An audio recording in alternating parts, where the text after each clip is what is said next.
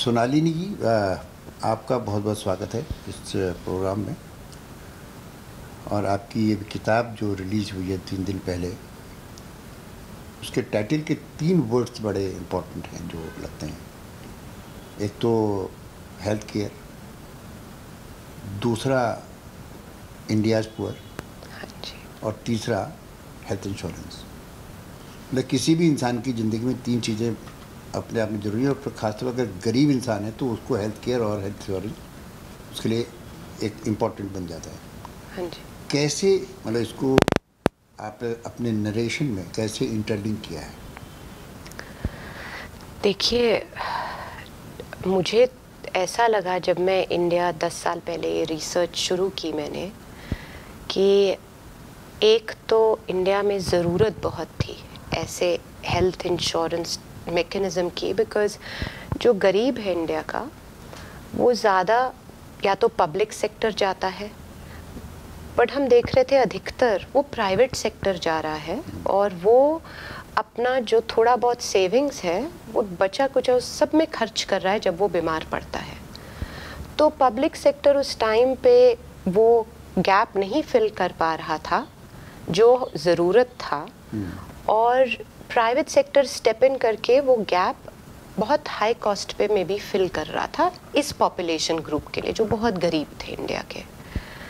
तो हमारे पास काफ़ी एक तरह से बहुत देशों ने ऑलरेडी इंश्योरेंस को बहुत डीपली स्टडी करा हुआ है। Like hmm. like इसको स्ट्रेटेजिक परचेजिंग कहिए या कोई भी मॉडल या डिज़ाइन आप देखिए। और भारत उस टाइम पे एक और डिज़ाइन टेस्ट कर रहा था इंश्योरेंस का लार्ज स्केल मेन स्ट्रीम पे जब मैं यहाँ आई। इस डिज़ाइन की ज़रूरत भी थी हमें कि हम इंश्योरेंस से एक मेकनिज़म बनाएँ जिससे गरीब private sector pre negotiated rates में एक्सेस कर सकता है जो वो वलनरेबल कम हो जाता है। गवर्नमेंट बीच में आके कहती है कि आपको ये सुविधा इस गरीब को देनी है इस रेट पे। और वो जो रेगुलेटरी रोल उस वक्त आया गवर्नमेंट का उनको वो प्रोटेक्ट करने के लिए वो बहुत ज़रूरी है। अब उसमें बहुत तरह के पहलू हो सकते हैं किस रेट पे। और ये डिज़ाइन एक चीज़ इस किताब में मैंने बहुत कोशिश की है हाईलाइट करने की कि ये एक मूविंग एजेंडा है। हम कोशिश हम्म। शुरू करते हैं दस साल पहले।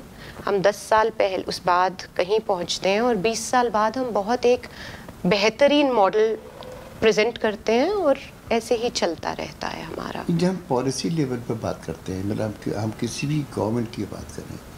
मेरा अपना ये मानना है कि कोई भी सरकार चाहे किसी पार्टी की हो हम्म।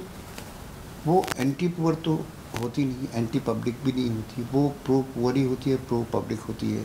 और जो भी पॉलिसी गवर्नमेंट बनाती है मुझे ऐसा लगता है कि वो जनता की भलाई के लिए बनती हैं और लेकिन उसको इम्प्लीमेंट करने के संदर्भ में कहीं गलतियाँ रह जाती हैं।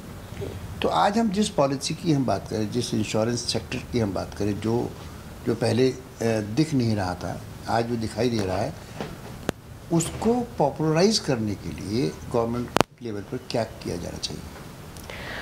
आई थिंक एक तो आजकल अवेयरनेस दस साल पहले जब मैं जाती थी तो अवेयरनेस लेवल इंश्योरेंस के अराउंड काफ़ी कम था। हम्म। और मैं बहुत पाँच साल तक तो विलेज लेवल पे ही मैंने काम किया। तो मैंने देखा इनरोलमेंट कैसे हो रहा है, लोग सर्विसेज़ या ये सुविधा अवेलेबल है, ये कैसे जा रहे हैं। दस साल बाद अवेयरनेस काफ़ी बढ़ गई है, अभी भी कमियाँ हैं। बट हमें एक चीज़ बहुत, जो मेरे एक्सपीरियंस में काफ़ी अपेरेंट है, जो हम बात करते हैं इंडिया में, कि इंडिया एक बहुत डाइवर्स कंट्री है। तो डाइवर्सिटी तो बहुत अच्छा है हमारा। बट उससे चैलेंजेस जो पॉलिसी में आते हैं वो ये हैं कि हमें हर एक लेवल पे ऑलमोस्ट स्टेट लेवल से नीचे भी मैं कहूँगी बहुत इनोवेशन करनी पड़ती है कि ठीक है जो आंध्रा की नीड है वो पंजाब की नीड नहीं है। जी। और वो जो वेरिएशन की आप बात कर रहे हैं अवेयरनेस वो डिस्ट्रिक्ट लेवल तक रूरल अर्बन तक यू you नो know, आप देखेंगे अर्बन एरियाज़ आजकल काफ़ी यू नो अर्बनाइजेशन की हम बात कर रहे हैं अर्बन पॉपुलेशन जो है वो काफ़ी लगभग काफ़ी देर तक अवेयर है तो रूरल कम है तो हम चैलेंजेस इस रूप में भी देख सकते हैं हम लोग हम्म। दिखाई पड़ते हैं अभी एक कोई टेलीविज़न प्रोग्राम आ रहा था हम्म। और स्कूल के बच्चों से उनके बारे में पूछा था कि बिहार का गवर्नर कौन है? बिहार का चीफ मिनिस्टर कौन है? बिहार का अब पूछने वाला भी ये सवाल करता है बिहार का प्रधानमंत्री कौन है? बिहार का राष्ट्रपति कौन है? और वो बच्चे जो जवाब दे रहे हैं उल्टे सीधे एक एक लेवल ये है।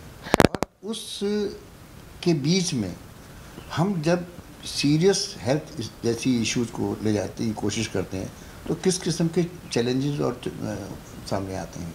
और कैसे हम उनको हैंडल हैं देखिए मैंने पीएचडी अपनी जब जब भी हम रिसर्च करते हैं या जब हम एक्सपर्ट्स लाते हैं मैंने सीखा है कि आप ज़्यादा कॉम्प्लिकेट मत करिए चीज़ें सिंपल करिए हम्म। और मैंने ये बुक में भी बहुत कोशिश की है कि जो भी इंसान इस बुक को पढ़ाए उसको हेल्थ एक्सपर्ट होने की ज़रूरत नहीं है ये यही जो मैसेज है हाँ।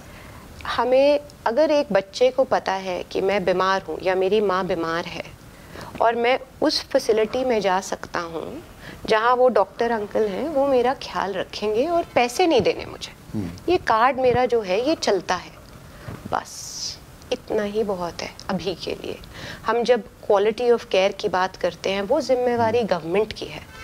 जो एक नागरिक की जिम्मेवारी आज है बस इतनी है कि उनको फ़िलहाल उसको इतना अवेयर करना कि ये कार्ड की कीमत क्या है और कोई भी जाकर के जिसके पास ये कार्ड है जिसका है हाँ। वो इससे इलाज करा सकता है एक तो ये बात हो गई हम्म। इसी से जुड़ा जो दूसरा इशू है जो जुड़ा हुआ वो है डेफिनेशन ऑफ़ ए पुअर एक गरीब की परिभाषा क्या हो हाँ। आप तो बाहर रही हैं बाहर काम किया है आपको सब कुछ पता है एक इंडियन पुअर की हम बात कर रहे हैं और इंडिया में भी दो तीन किस्म के चार किस्म के पुअर आपको मिल जाएँगे और दूसरा हम यूरोप और वेस्ट की बात करते हैं वहाँ की इसको हम कैसे मतलब सोशल सेक्टर में कैसे इसको आगे बढ़ा करके इस पर काम कर सकते हैं? ये आपने बहुत एक पर्टिनेंट पॉइंट छेड़ा है कि पुअर क्या होता है जो यू you नो know, हमारे परसेप्शन में क्या एक परसेप्शन है। और इस इस क्वेश्चन को काफ़ी यू नो बीपीएल लाइन जो बीपीएल बिलो पॉवर्टी लाइन होती है इस पर बहुत रिसर्च और चर्चा हो चुकी है कि इंडिया वो लाइन कहाँ ड्रॉ करे। ड्रॉ करे यू नो एंड अगर आप इंश्योरेंस का एक्सपीरियंस देखेंगे स्पेसिफिक टू ये जो हेल्थ इंश्योरेंस की हम बात कर रहे हैं जो भी बहुत स्टेट्स ने जो बीपीएल लाइन है उससे ऊपर जाके लोगों को कवरेज दी है हम्म। और ये बहुत बहुत ही स्मार्ट चीज़ है बिकॉज़ एक जो गरीब है जो से पचास रुपए या साठ रुपए दिन के कमाता है और अगर वो अस्सी कमा ले तो वो एलिजिबल शायद नहीं हो यू you नो know? अगर हम हंड्रेड एंड फिफ्टी जहाँ भी जो भी लाइन ड्रॉ कर रहे हैं तो इन्होंने ये जो बात समझी है कि हमें उनको भी कवर करना है जो बिलो पॉवर्टी लाइन के ऊपर है बिकॉज़ वलनरेबिलिटी हम्म। तो वो भी है। तो मोस्ट स्टेट्स जो हैं आज ये जो पुअर की हम बात करते हैं ये ट्रेडिशनल पुअर या एकेडमिक पुअर लाइन पे नहीं सीमित। ये उससे बियॉन्ड जाके लोगों को कवरेज प्रोवाइड कर रहे हैं। Definition of poor below the definition of below poverty line और जिस स्टेट के से जितना भी हो पा रहा है in in being able to provide the premium coverage उन लोगों के लिए वो कर रहे हैं।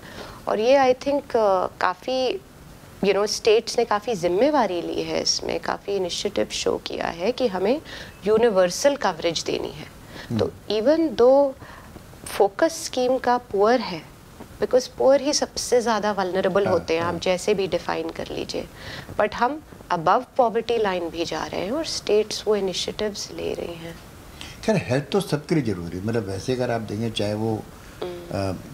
अमीर है गरीब है मतलब अगर वो स्वास्थ्य स्वस्थ ही नहीं रहेगा तो क्या करेगा?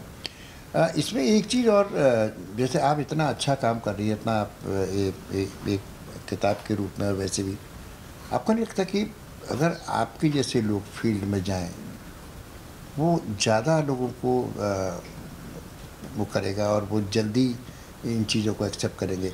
इन क्योंकि जो जो सरकारी महकमा जाता है बीच में एन के थ्रू जाता है।